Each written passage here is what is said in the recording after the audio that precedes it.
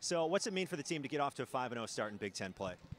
I mean, the team's really excited, and it's something that we've been really working towards since last season. And I think it's like the first time that Wisconsin has been 5 0 since Kelly's been here, maybe. I think, I mean, we lost the last first game last year, so I mean, we're just really excited, and yeah, just taking every game one at a time. Are you excited about being second in the rankings, number one in the RPI, or is that something that maybe you guys don't look at?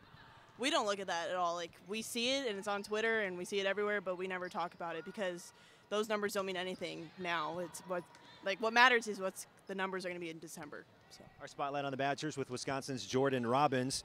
Uh, at UWBadgers.com, you say your favorite volleyball player is Lauren Gillis. Uh, why, why do you say that? I'm just a huge Lauren Gillis fan. On and off the court, I think she's just someone that everyone can really look up to. Uh, you do you really listen to the Glee soundtrack before matches, or are you just being silly?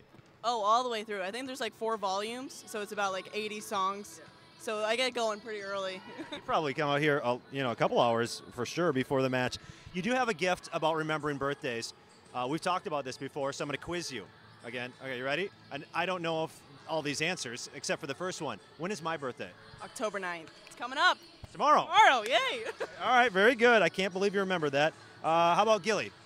February 13th. Okay, well, that's easy, though, because that's. Valentine's Day weekend, yeah. Valentine's. Uh, how about uh, Lauren Carlini? February 28th. Kelly Sheffield. July 14th.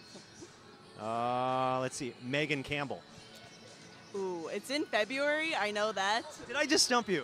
I don't think I, have memorized it. I, am going to say February 4th. We'll have to fact check that one. Okay, we'll fact check that later. Uh, thanks for the time, Jordan. Anytime.